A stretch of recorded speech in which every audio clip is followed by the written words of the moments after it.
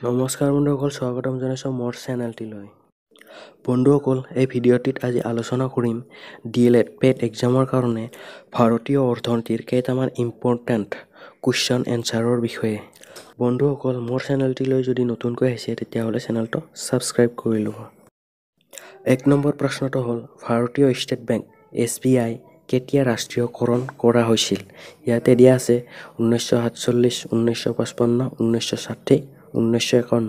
ইয়াৰে শুদ্ধ উত্তৰ হ'ল শুদ্ধ উত্তৰটো হ'ল অপশ্যন খ ঊনৈছশ পঁচপন্ন। ঊনৈছশ দুই নম্বৰ প্ৰশ্নটো হ'ল এন আই টি আইৰ সম্পূৰ্ণ অৰ্থ কি?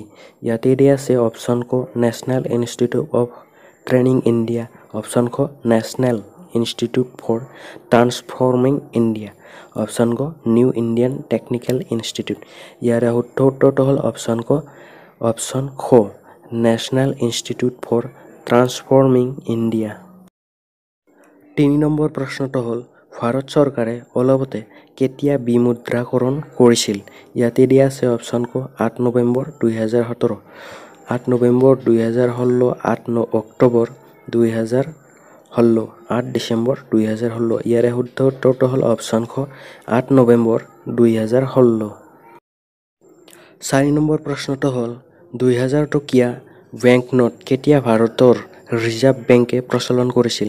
ইয়াতে দিয়া আছে অপশ্যন ক দুই হাজাৰ সোতৰ অপশ্যন খ দুই হাজাৰ ওঠৰ অপশ্যন ক দুই হাজাৰ ষোল্ল অপশ্যন খ দুই হাজাৰ ঊনৈছ ইয়াৰে শুদ্ধ উত্তৰটো হ'ল অপশ্যন ক দুই হাজাৰ ষোল্ল। দুই হাজাৰ ষোল্ল চনত দুই হাজাৰ টকীয়া নোট ৰিজাৰ্ভ বেংকে প্ৰচলন কৰিছিল। পাঁচ নম্বৰ প্ৰশ্নটো হ'ল ভাৰতৰ আটাইতকৈ ডাঙৰ ব্যক্তিগত খণ্ডৰ বেংক কোনটো? ইয়াতে দিয়া আছে ক এক্সিছ বেংক খ H D F C Bank. গ বন্ধন বেংক খ য়েছ বেংক। ইয়াৰে শুদ্ধ উত্তৰটো হ'ল অপশ্যন খ H D F C Bank. ছয় নম্বৰ প্ৰশ্নটো হ'ল ভাৰতীয় জীৱন বীমা নিগম এল আই চি কেতিয়া গঠন কৰিছিল? ইয়াতে দিয়া আছে অপশ্যন ক ঊনৈছশ একাৱন্ন খ ঊনৈছশ ছাপন্ন গ ঊনৈছশ ষাঠি খ ওঠৰশ নব্বৈ।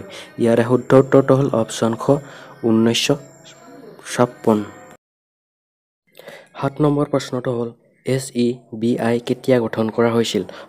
অপশ্যন ক ষোল্লশ পঁচপন্ন খ ঊনৈছশ একানব্বৈ গ ঊনৈছশ বিৰানব্বৈ খ ঊনৈছশ একাৱন্ন চন। ইয়াৰে শুদ্ধ উত্তৰটো হ'ল অপশ্যন গ ঊনৈছশ বিৰানব্বৈ আঠ নম্বৰ প্ৰশ্নটো হ'ল এছ ই বি আইৰ সম্পূৰ্ণ নাম কি? ইয়াৰে শুদ্ধ উত্তৰটো হ'ল অপশ্যন খ Securities and Exchange Board of India ন নম্বৰ প্ৰশ্নটো হ'ল ভাৰতৰ অৰ্থনীতি হৈছে অপশ্যন ক সমাজবাদী খ পুঁজিবাদী গ মিশ্ৰ খ মুক্ত। ইয়াৰে শুদ্ধ উত্তৰটো হ'ল অপশ্যন গ মিশ্ৰ। ভাৰতৰ অৰ্থনীতি হ'ল মিশ্ৰ।